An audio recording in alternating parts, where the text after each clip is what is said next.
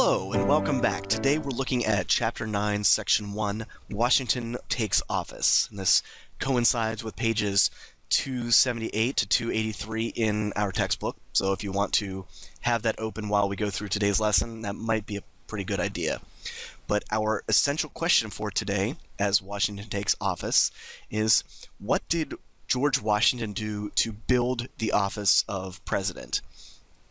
Um, as the first president, there wasn't anybody before him to give him an idea of what to do, so he kind of had to figure things out as he went along. And as you can see, I've already done an audio recording of each section of today's lesson. So if you want to use that, that's perfectly fine. Or if you just want to read through on your own, also perfectly fine. But if not, let's get back to our video for today. Now, some of our key terms for today and some of the things that we will actually uh, be talking about in the future as well, but it's good to have a definition of some of these terms. Um, let's look at them. Uh, inauguration, that's the ceremony in which a president officially takes the oath of office. Precedent, not to be confused with president.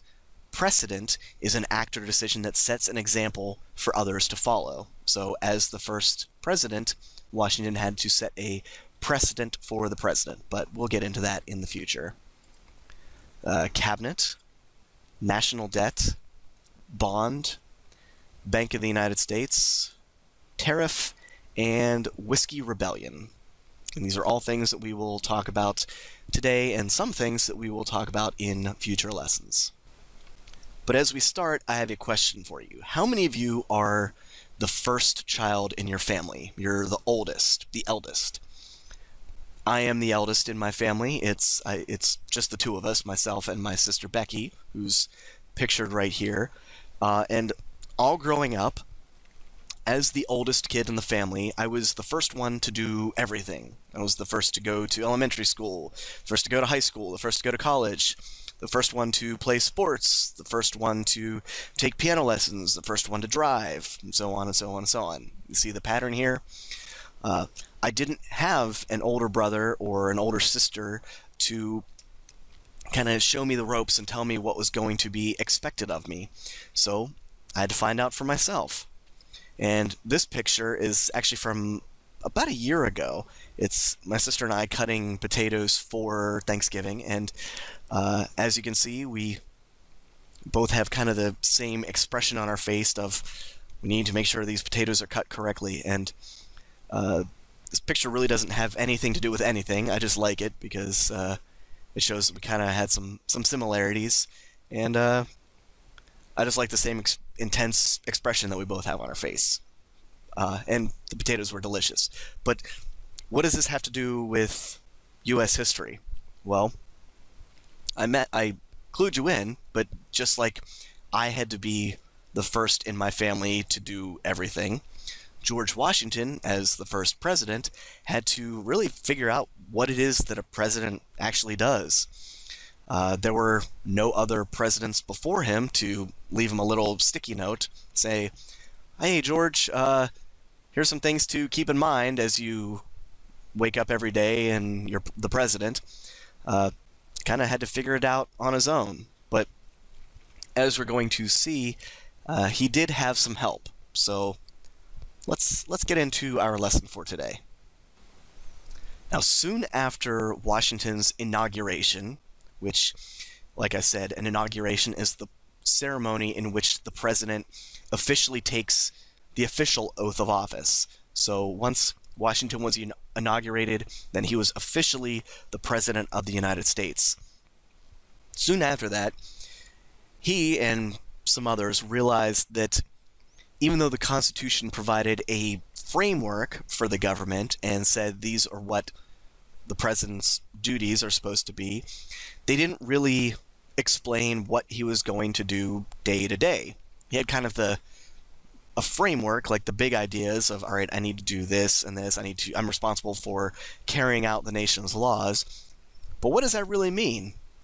And how does that translate into waking up every day and fulfilling my roles and responsibilities as president? There was no precedent uh, which would set the actions of the president. So it was really up to Washington to figure out what uh, the president was going to do day to day. And it was pretty clear from the beginning that the president was going to need help. And he was going to need a group of talented and uh, intelligent people around him to help him carry out the duties of the executive the executive branch. So in 1789, Congress created five departments within the executive branch and the heads of these departments would make up the president's cabinet. And this isn't a cabinet like you find in the kitchen, this just refers to the president's official group of advisors. And Washington set a precedent by choosing well known leaders of the day to serve in his cabinet. So, at the head of the State Department, he chose Thomas Jefferson to serve as the Secretary of State.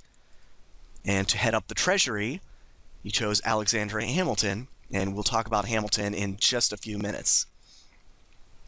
As the head of the War Department, he chose Henry Knox, was a very famous uh, colonial general from the Revolutionary War. Edmund Randolph, he chose as the Attorney General, and at the head of the post office, the Postmaster General, Mr. Samuel Osgood. And our first video is going to go into a little bit more detail about setting the precedents uh, very early in his uh, in his uh, presidency, and some of the early things that George Washington did to kind of establish the job of President of the United States.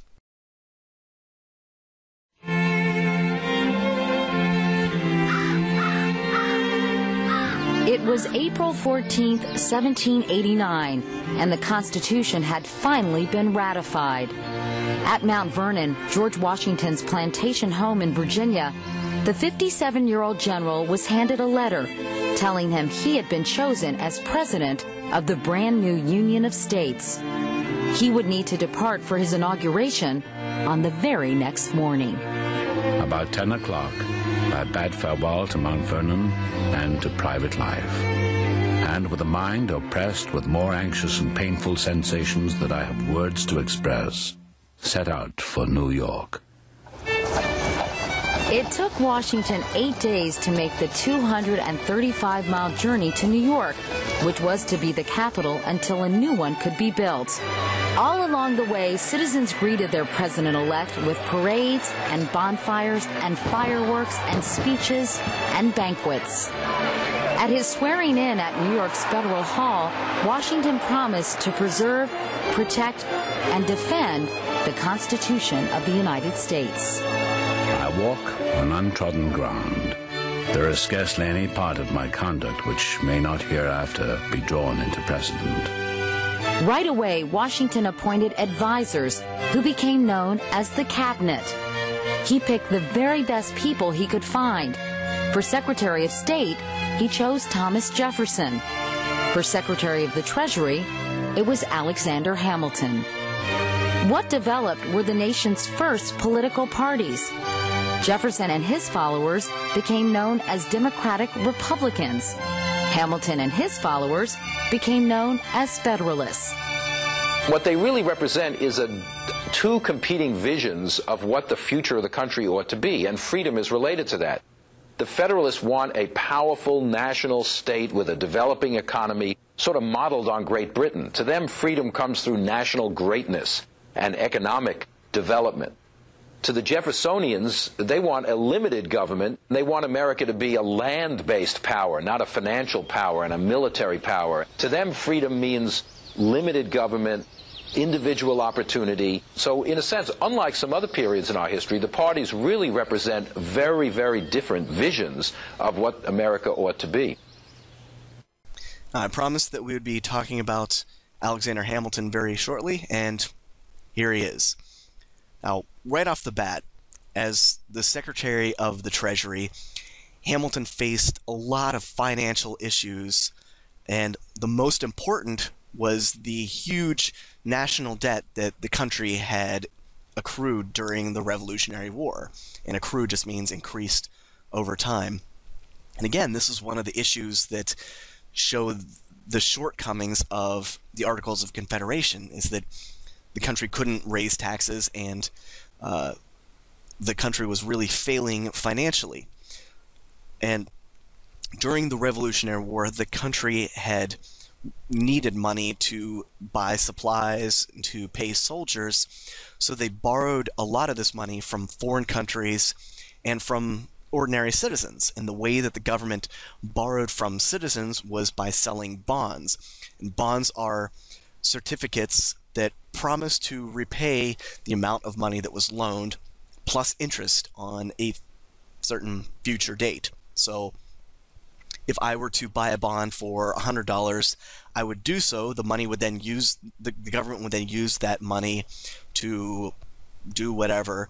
And then once the bond was up in seven or 10 years or however, however many, I would expect them to give me that money back plus interest. So I pay $100 and I expect to get 120 or $150 back in the future, something like that.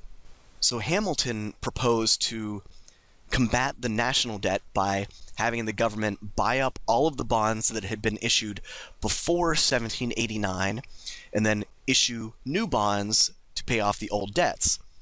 And once the economy started to improve, then the government would be able to start paying off those new bonds. So kind of use money, bought up the old bonds, and then use those old bonds to pay pay towards new, new bonds. So it it's kind of confusing, but at the time, uh, it made sense to some people, and some people really welcomed that plan and said, "Hey, let's we need to do something to try and jumpstart the economy."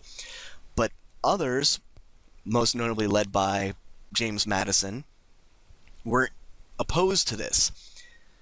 Hamilton argued that unless the United States could repay its debts in full, then it would lose the trust of future investors, and that those investors were crucial to the country growing in the future and building the nation's economy. But Madison, as a Southerner, was opposed to Hamilton's plan to pay off all the state debts because a lot of the southern states had already paid off their debts and they didn't want to be burdened with the debts of other states. So this was a kind of an issue of the country as a whole versus individual states. And this is a this issue of states' rights over national rights is going to come up again in the very, very near future. So keep that back there in the sticky part of your brain. But something had to had to happen in order for the country to move forward. So Hamilton, in order to gain support of the southern states, proposed to support their desire to have the nation's capital in the South in exchange for Southern support in helping to repay repay those debts. So in 1790, Congress voted to accept Hamilton's plan to build the new capital city. And currently, the capital was New York City, but the new national capital would be built right in the middle of the country in on land donated from both Maryland and Virginia, and it would be called the District of Columbia after Christopher Columbus. So while the District of Columbia was being constructed, the capital moved from New York City down to Philadelphia. So was, our nation's capital has been New York City, Philadelphia, and most notably DC, or as we know it now, Washington, D.C. In January of 1790, the U.S. Congress met here at the Pennsylvania State House in Philadelphia, the place where the Declaration of Independence was signed. This building was to serve as the country's temporary capital while decisions about a new U.S. capital city were made. In 1790, one of the most urgent orders of business for the U.S. government was to come up with a way to repay long overdue debts incurred during the Revolutionary War, including such things as the back pay owed to soldiers. Treasury Secretary Alexander Hamilton worked out a controversial repayment plan to meet this goal. But certain congressmen would only accept his plan if he arranged to have the new U.S. capital city built in the southern part of the country. A location in Maryland, pictured here, was decided upon and Hamilton's repayment plan was passed. Then, not far from here along the banks of the Potomac River, President Washington selected the exact site where the federal city would someday stand. So, the first challenge raise money to pay off the war debts Im- Im- pretty immediately. And Hamilton did that with the bond issue. His next major challenge, in order to try and strengthen the failing econ- economy, was he wanted to try and strengthen both agriculture and industry. And he did so by asking Congress to create a national bank. And in 1791, the Bank of the United States was formed. And this, we're looking at a picture of the first national bank of the United States. And this bank would hold money that was deposited from taxes and would issue paper money to pay the government's bills. Uh, it was also able to make loans to farmers and businesses and encourage economic growth through these loans. And so the bank would help agriculture and help business. He also wanted to help American manufacturers uh, by proposing a very high tariff. And a tariff is a tax on imported goods. And we'll talk about tariffs in the future, but I just want you, for the time being, to know that he wanted to pass a very high tax on imported goods so that foreign goods would be much more expensive than American made goods. And he hoped that by doing so, it would encourage people to buy uh, locally made uh, things and things made by American manufacturers. And in the North, where kind of the North was kind of the hub of industry, this ta- this tariff was everyone loved it. Uh, but in the South, people in the South tended to depend much more heavily on Euro- especially European goods so they were very opposed to this tariff. So after some arguing back and forth, Congress did end up passing a tariff, but it was much lower than the one that Hamilton had initially intended. In 1791, Congress approved the creation of a privately owned bank called the Bank of the United States to handle the federal government's money. Alexander Hamilton had personally worked to have this bank created, for he believed it would help strengthen the government politically and economically. But Thomas Jefferson deeply opposed the bank, believing it to be a government supported monopoly. Soon another issue arose that divided these two men for Hamilton wanted the federal government to take an active role in promoting the development of American industry, and Jefferson did not. At this time, industrialization was just beginning to take hold in America. In fact, the factory in Rhode Island seen here, called Slater's Mill, opened right around the same time Hamilton was making his proposals to Congress. It was the first factory in the nation where water powered machines were put to use in textile manufacturing. Machines like those in Slater's mill had brought tremendous wealth to Great Britain, and Hamilton wanted the same thing to happen in the United States. To achieve this goal, Hamilton wanted the federal government to make payments to people who open new factories and to enact protective tariffs, special taxes on imported goods. Under this plan, there would be an added incentive to build factories. And untaxed American manufactured goods would become more affordable than similar foreign products upon which taxes were paid. Thomas Jefferson and James Madison were disgusted with Hamilton's plan, saying it represented unnecessary government interference. It was their belief that the federal government should play only a small role in the lives of the American people.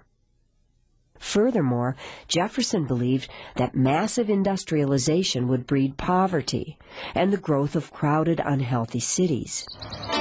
In contrast to Hamilton, Jefferson envisioned an American nation based on small independent farms.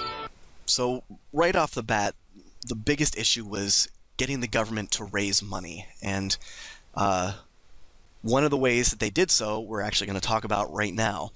Uh, in order to try and raise money for the Treasury, Congress approved a tax on all liquor that was made and sold within the country. But instead of raising money, this tax sparked a rebellion, which is why we're going to be talking about the Whiskey Rebellion, among western Pennsylvania farmers. These farmers grew corn, and because corn can be difficult to transport over rough roads, uh, there's there's a very short time window between picking corn and being able to sell it while it's still fresh.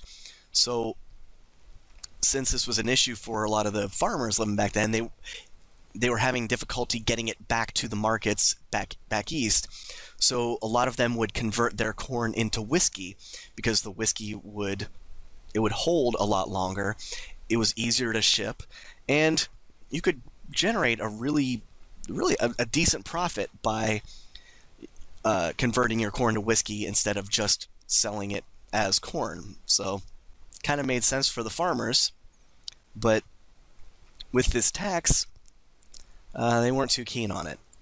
As you can see from this flag, uh, the farmers hated the whiskey tax and refused to pay it because they believed that it was no better than the taxes that Great Britain had put on them years earlier.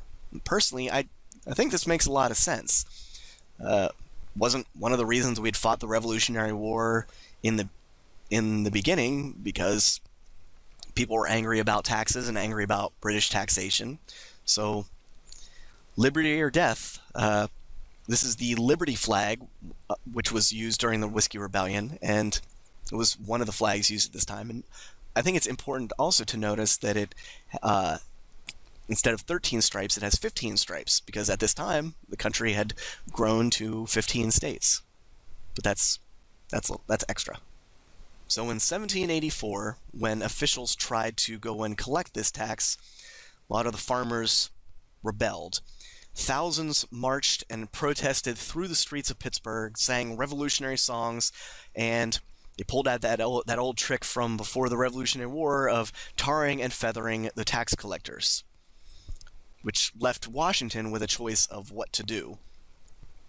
Either let this continue or act quickly. So he chose to act quickly in response to the uprising and dispatched a militia to Pennsylvania. And when these rebelling farmers heard that troops were coming after them, they threw down their arms and fled back to their farms. So Washington issues the militia to come out. The farmers hear that the militia is on their way, so rebellion over. Hamilton wanted the leaders of this rebellion to be imprisoned, but Washington chose to let them go, chose to pardon them. And in this one act, by choosing to choosing to act quickly but also choosing to pardon them, he had shown strength and mercy in this one act. And Washington proved to the American citizens that the new government would act swiftly in times of crisis and that violence would not be tolerated, but they would also show a human side and show mercy where necessary. As the United States government worked at solving its problems with France and Britain, Trouble developed at home in the normally peaceful farm country of western Pennsylvania and Kentucky. People in these areas raised wheat, corn, and rye, and they used some of the grain to make whiskey. It was perfectly legal to make whiskey, but U.S. law said that persons who did so had to pay a tax. In fact, tax on alcohol was an important source of income for the federal government back in the 1790s. But many farmers refused to pay the tax. They even committed violence against the federal tax collectors, setting off what has come to be called the Whiskey Rebellion. To put an end to the rebellion, President Washington sent 15,000 U.S. troops into the region. This large show of force soon convinced the farmers to pay the taxes.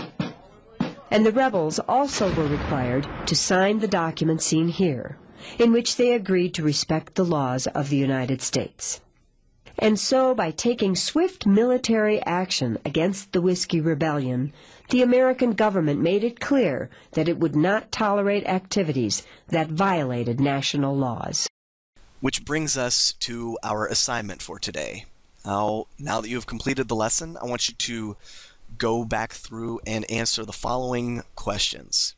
Number one, what were the first five executive departments of the federal government, the cabinet? Number two, how did Alexander Hamilton propose to repay the national debt? And how did his opposition respond? Number three, what compromise brought about the acceptance of Hamilton's plan?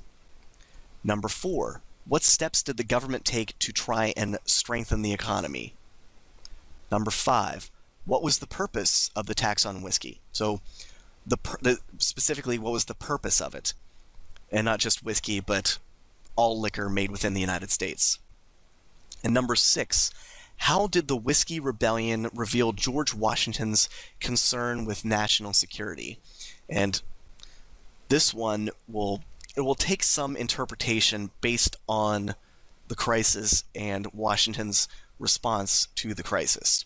I want you to answer each of these with complete sentences. It's it's pretty straightforward, um, but if it asks for an explanation, I want you to please give a full explanation. If, and I say this a lot, but if you feel like you're writing too much, that's a good thing. All right? If you have any questions, please come and find me, and I'll do my best to help you out.